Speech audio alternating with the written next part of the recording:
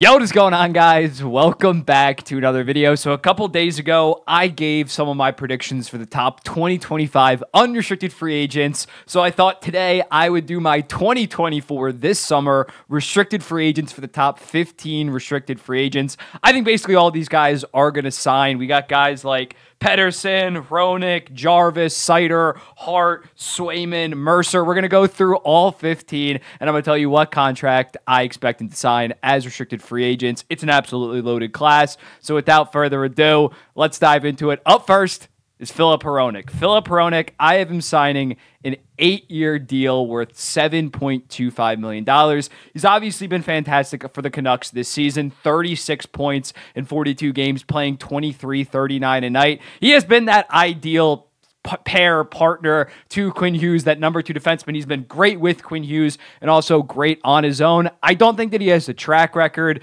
and he's not that young. He's going to be 26 when he signs this deal to demand like eight plus million, but I think 7.25 is very solid number two deep money in today's cap with the cap going up. So in looking at that, eight years, 7.25, just lock him up, forget about it. You get him for most of his prime. Last year or two of that deal might be a little bit bad, but if you're Hronek, you cash in, you like playing in Vancouver. So I think an eight year, 7.25, maybe 7.5, I probably wouldn't go north of that, is pretty fair value for a guy of his stature. Up next, Lucas Raymond. If you watch my redraft, some people think I, I hate Lucas Raymond because I had him at sixth overall. But Lucas Raymond, five years, $7.75 million. He obviously had that fantastic rookie season when he had 57 points. Bit of a disappointment, disappointing sophomore season with 45 points, but he's back on pace. He has 33 points in 41 games, puts him exactly on 66 point pace.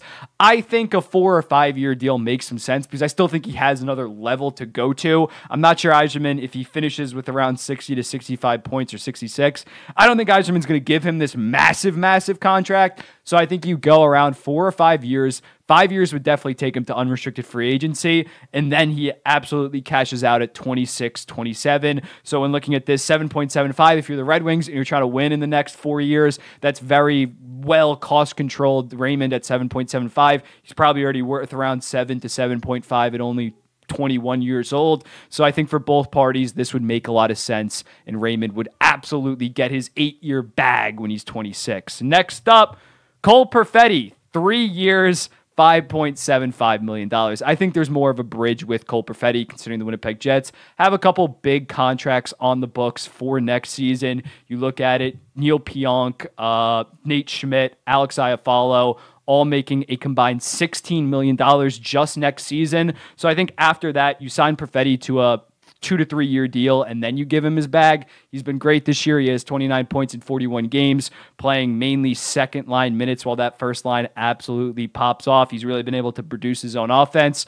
I think Perfetti is a bridge candidate compared to a Raymond where they have a ton of cap space this summer. The Jets do have some, but it's the following year where they get some of their badder contracts off the books. So I think Perfetti is going to have to wait two to three years in order to get his big contract. There's a couple bridge deals on this, as you would expect with restricted free agents. The fourth guy, Matty Beniers, and this is kind of a sad one because I thought I thought they were going to get like an 8 by 8 done this summer after a 57 point rookie year. You expected a big, big contract for him, but for all intents and purposes, he's kind of shat the bed to start this season. He has 19 points in 41 games for the Kraken, still has very good underlying defensive numbers. I still think that he has the potential to eventually be a very solid first line shutdown defensive center, but the offense just isn't there. 57 points, obviously, last year, on pace for 38 this season. So I have him signing a three year, $5.5 million deal.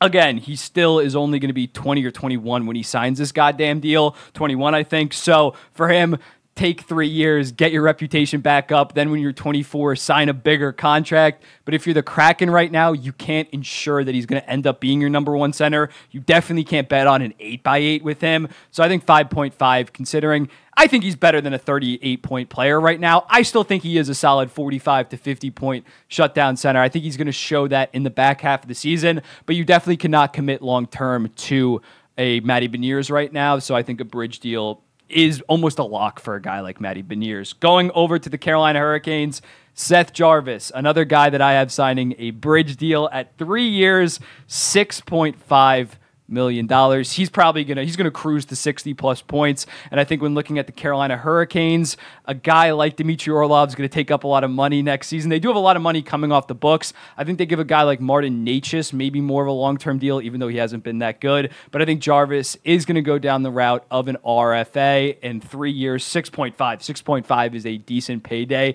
for Seth Jarvis. And again, he played almost immediately after getting drafted. So in looking at him, he's gonna get his big deal in those three years let some of that money come off the books. Brent Burns still making 5.5, Orlov 7.7. They're going to clear off all their bad contracts, not bad contracts, but older guys are going to be off the books. And as a result, they're going to be able to give Seth Jarvis a bigger deal when it's all said and done. Moritz Seider, I have going long term, though. I have him at eight years. $8.3 million.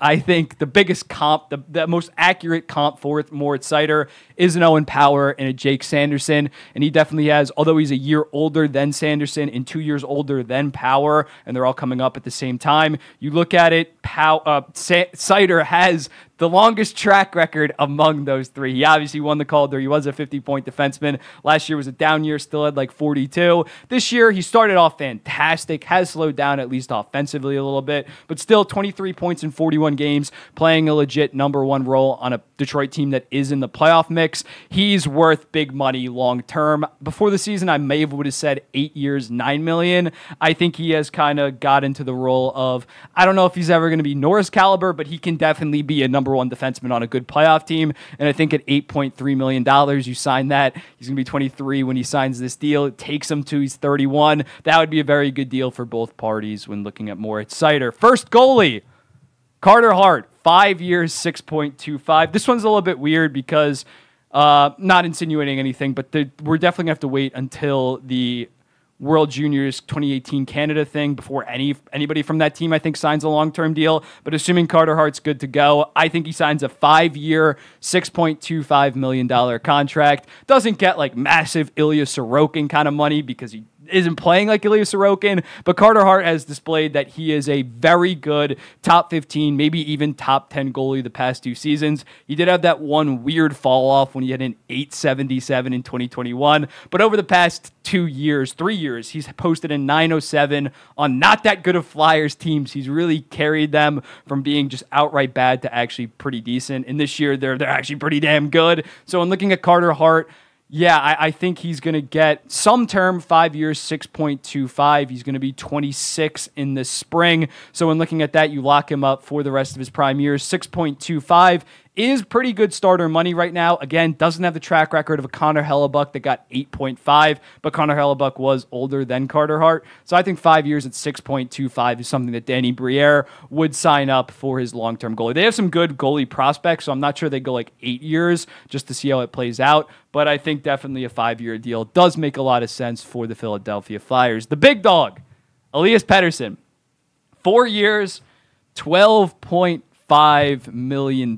He's obviously balling out this season, probably going to reset his career high in points, which he broke 100 last year 57 points in 42 games thus far. He has the track record with that 100 point season. He's been around point per game every single season or before that. He basically has, he's basically the production when you compare it to William Nylander, who got 11.5. He's three years younger than William Nylander, plays center, has a better track record. So I think 12.5, what McDavid is getting right now. McDavid obviously signed that contract back in what, like 2017. Times have definitely changed. And I went with four years. Not saying that he's going to want to leave after those four years, but I think he saw what an Auston Matthews did in terms of maximizing his value. You signed this four year deal, that would obviously take him to, to unrestricted free agency, duh.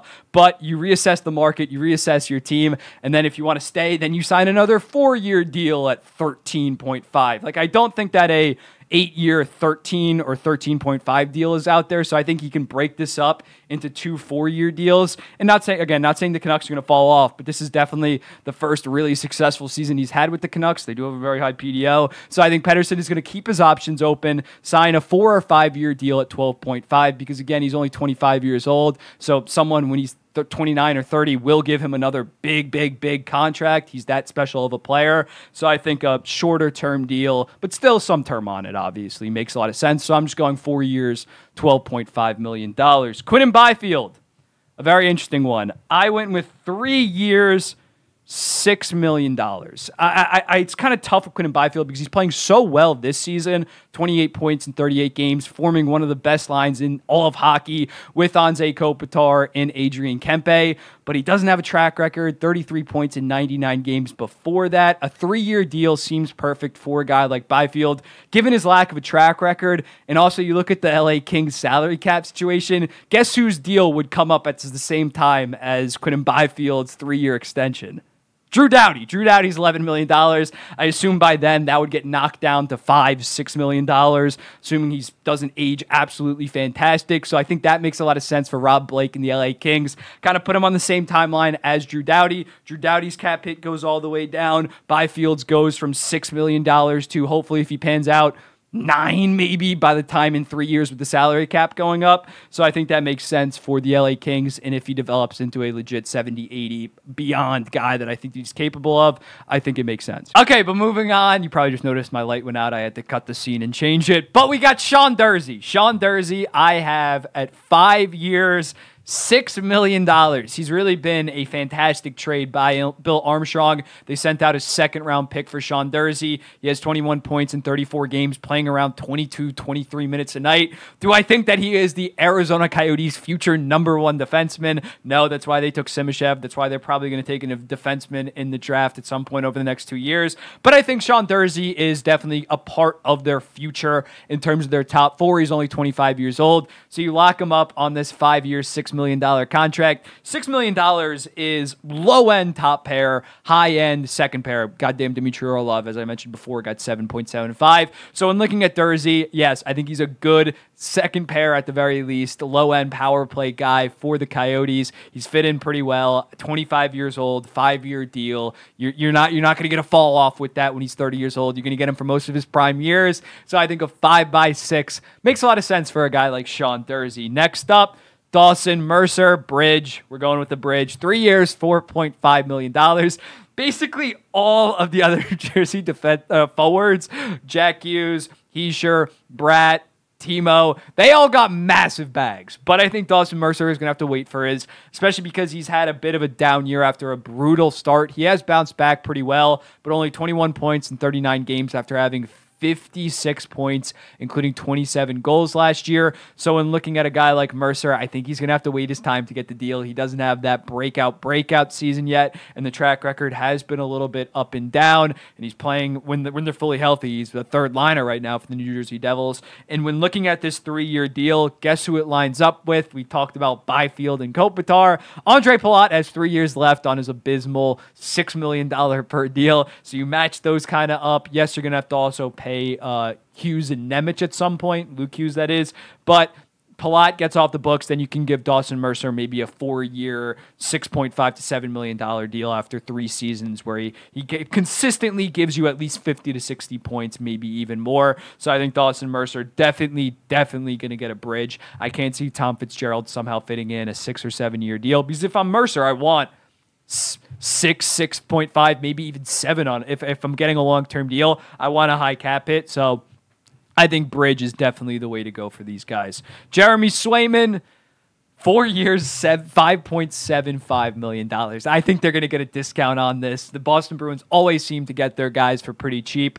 And when looking at him, he's playing Vezina caliber this year. Not the best of late, but still a 920 and 2.47 goals against. He has a career 920. And yes, he does play on the Boston Bruins, which definitely help his stats. But I think we can all agree at this point, he is a top 10 goalie. He is definitely a top 10 goalie. So when looking at this deal, I kind of compared it to other RFA goalies like Juuse Saros and Igor Shesterkin. Saros's, I believe, was four years, five million. Shesterkin's was four years, 5.66 million. So in looking at it, it's about the same, a little bit more because he has a bit of more of a track record and the cap is expected to go up. But I don't think Sweeney's gonna have Sweeney's gonna end up paying Ullmark and uh, Swayman all this money for next season. I don't think they're gonna give Ullmark or Swayman this massive seven or eight year deal at north of seven million dollars. So I think Swayman's gonna take his three or four million dollar deal, take himself to unrestricted free agency, where then maybe he can. I think he's gonna stay with the Bruins regardless. But when he's an unrestricted free agent, use that as leverage, get his seven or six, seven, eight year deal at a pretty high cap hit with the cap even exploding more. So I don't see him sign signing for that long term. I think Boston gets it done. Seems like he loves playing for the Boston Bruins. Uh, he's a great player. He played in the University of Maine, I believe. So he's been around the area for the past goddamn six or seven years. So I don't see him going elsewhere. We're into our final three. At number three, well, I'm not really counting these down, but the third to last, Casey Mittelstadt. Casey Mittelstadt, I have at five years, $6.75 million.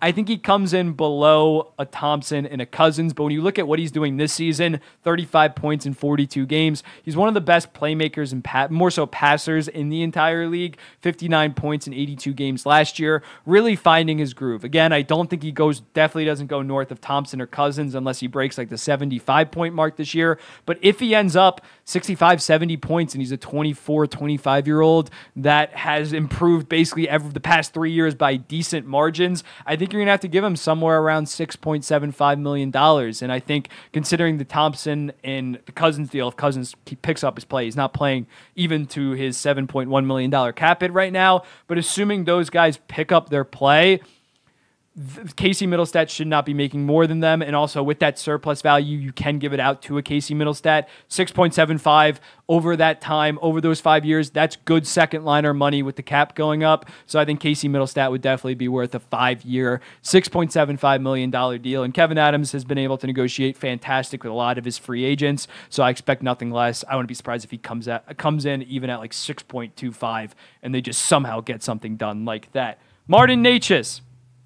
Five years, $6 million. He has not been nearly as good as he was last year at 71 points. This year, only 26 and 38 games. I see some Hurricanes fans that do not like his overall game. He's a minus 13 this season. He is 25 years old. I think he kind of he, he fumbled the bag, similar to Matty Beniers, 71 points. If you put up another 70 point season, you could be looking at a 7 by 7 for a Martin Necas. I think you're definitely still going to have to give him a healthy $6 million on the AAV when you look at his track record. He's been very inconsistent. He had that fantastic COVID shortened season. Then in 2021, 2021, uh, 2022, dipped a little bit, then 71. Now seems to be back on pace for like low 50s probably. But when looking at Martin Necas, still a very good winger, still definitely a part of their long term plans at only 25 years old. He did take a bridge last time, so I think he's going to need some term at $5 million, but or five years, but at $6 million, that's a pretty reasonable price for a guy like Martin Necas. Our final dude is Kent.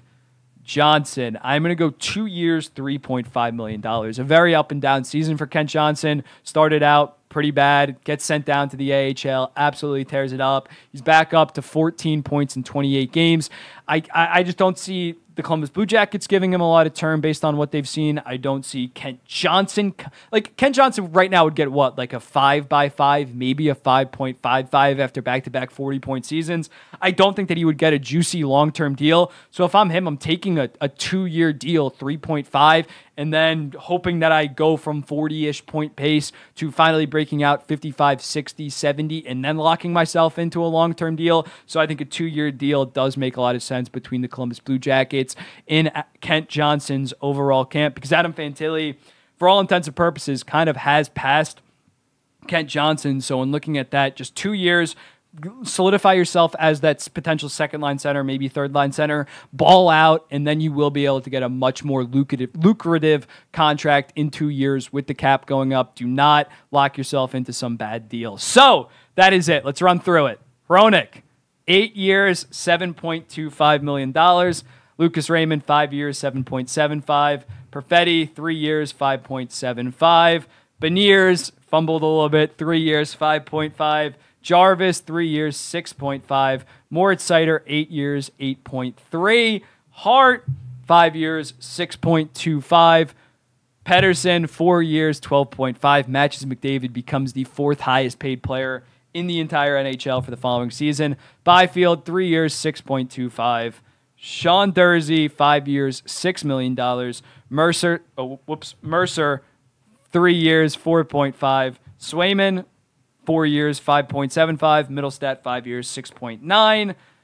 Necas, five years, 6 million. And Kent Johnson, two years, 3.5. Let me know what you think in the comments. I think that Carolina situation is by far the most interesting development. How are they going to pay Jarvis and Necas? Because I think Jarvis is better this year as well as being three years younger. So how they're going to handle that that that agency agent back and forth comparing and contrasting is going to be very interesting. If there was one guy that I think maybe gets traded out of this bunch, I would probably just say Sean Durzi because he is a little bit on the older side. He's 25, going to be 26, and the Coyotes maybe could move in a different direction. But I don't think he's going to trade it. I think basically all of these guys are going to remain with their current teams. So, yeah, let me know in the comments what do you think. Very interesting. This is a loaded restricted free agency class. I think a couple of these guys probably will sign in the next month or so, but most of these will take it to the summer. We'll have long, drawn out discussions, but there's really no, you don't have to worry about restricted free agency negotiations until we really get into like August, September, the Mitch Marner, William Nylander situations. But I think most of these guys are going to lock it in. None of these guys are going to ask for the absolute moon. Mitch Marner, $10.9 million. So let me know in the comments. What do you think? Do you want me to look ahead to the 2025 class? And yeah, I'll be seeing you in the next one.